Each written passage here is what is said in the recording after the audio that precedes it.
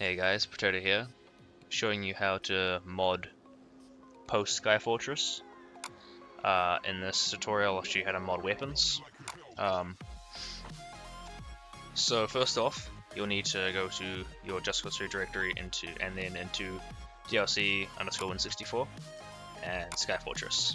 So in order to access these, you, you won't have those unless you've already modded it. Um, in order to access the files, you drag the dot .tab files onto unpack, this one, not small unpack, unpack. Let this run, and when it finishes, you'll have uh, a new folder called game etc underscore unpack. And if you open it up, it'll have an unknown folder. It may have a bunch of files in here. Those are just as easily to mod as unknown files, if anything easier, because you don't have to search through every single one of these files trying to find what you're looking for. Um, so do those for every single one. The most useful stuff is in tab 1.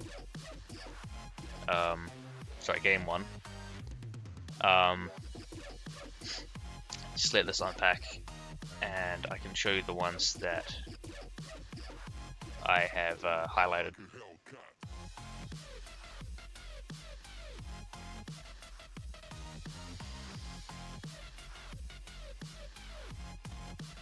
There we go. Um, ADF is you drag onto convert ADF. Um, it'll create a .xml file which you can open using, I use Notepad++. Plus I'll put a link to download in the description. And then you can, everything after, here you can touch, but be gentle, is where you can touch, as long as you're gentle. Only if you're gentle, I'm just kidding. Go fucking mental. Don't touch any of the stuff up here. Um, I have already unpacked all of that, and into this folder. Um, there is an error that can occur if you if the path where you've installed Just Cause 3 is too long, so for example this that's a bunch of characters, but by the time you've gone into whatever you want to edit, say Gamepack 1, AAF, AF you unpack using small unpack, uh, you just let it extract and you'll have another folder like with uh, when you did the big unpack, or you know, big unpack. Open it up, and then you'll have DLC, etc. But then you'll notice by now this path is starting to get very, very long, and the unpack does not like that at all. So I'd recommend finding somewhere um, with a very short file path which is what this folder here I've made is for. See, really short file path, I can unpack stuff in here. So these are the useful ones that I found. Uh, all are in uh, game one. Uh, these codes are the how the game identifies them, and the first, this letter here identifies whether it's a vehicle or a weapon, so VOW.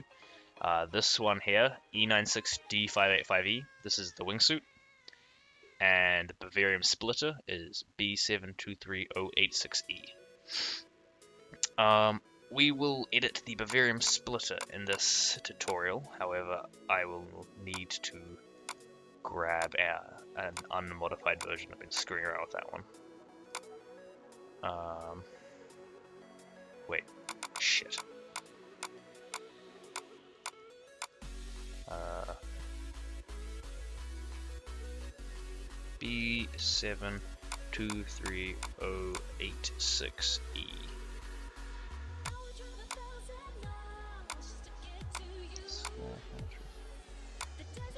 Search it in here. There it is. Um, file location. A small unpack, as it is an AAF file. And then just in here, I'm gonna cut this out to my folder so I can safely edit it. Uh, you'll find all of the DLC files under the DLC. Uh, all of the usual weapon files, if there are, will be under editor, and then entities, and you'll see them all here.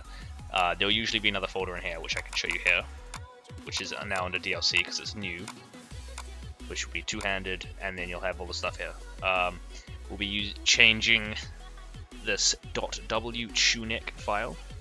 You can modify it using either convert ADF, or you can use a hexadecimal converter by dragging and just dropping it in there. Um, I I prefer using the hexadecimal converter, but for simplicity's sake, I will show you how to use the uh, the easier method because it's it's easier. So find where you can touch, and then right here, magazine size. It's currently 60. Set that to whatever you want, 120. Max range, 10,000. Why not? Reload. How far? Reload time scale. How fast you reload? Five times faster. Velocity. Why not 90, 900,000? Fire rate. Fire rate. You divide whatever this number. One divided by whatever this number is. So if I just real quick drag this up.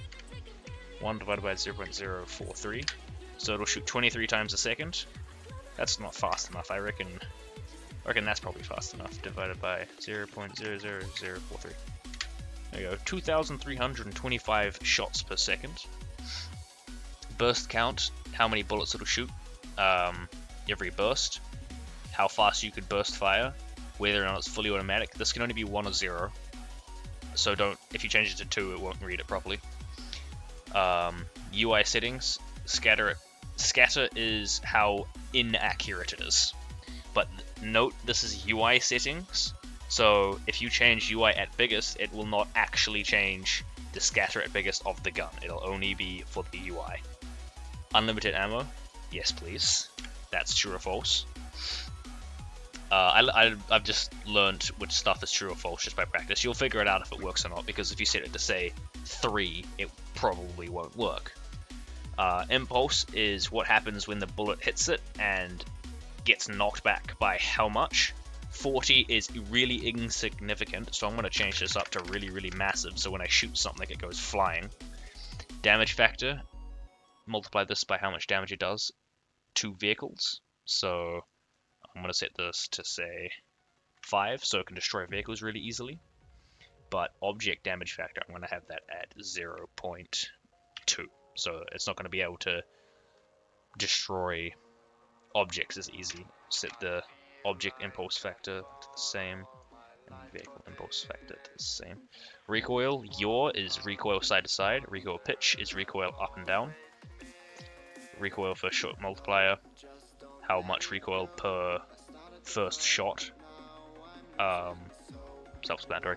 Scatter. This is where the actual scatter is. So as you can see, this is um, this is actually very inaccurate. If I change this to zero, the scatter minimum, your first shot will always be very 100% uh, accurate. Scatter at maximum. I'm going to bring this down so its worst accuracy is better. Scatter per shot. I'm going to decrease that so it's slightly more accurate. 0.075. Multiply by movement. So this time this times this gives you how much your maximum scatter is. Oh yeah, uh, multiply this by this, this by this to give you your scatter while you're moving, and your scatter while aiming, scatter recovery rate, how fast you recover from scatter, uh, etc. Shake is the camera shaking side to side. So in this one, um, the shake will shake the 0.25, fall off one second. You just have to play around with that. Rumble is um, it's like another type of shake, except, I don't know, side to side, I guess, I don't know. Mount input, mounted input, um, doesn't apply to this weapon because it at no point is mounted.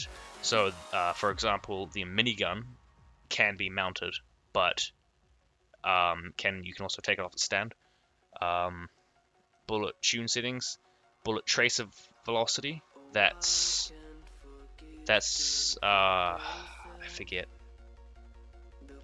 just set this to whatever you set the tracer fire velocity to whatever your bullet velocity is uh, to avoid any um, lag because some the tracer velocity I think off the top of my head don't quote me on this is how um, uh, Bandicam's about to cut me up okay uh, I guess this is the end of part one Uh, music in description. Downloads for Notepad++ in description. See ya.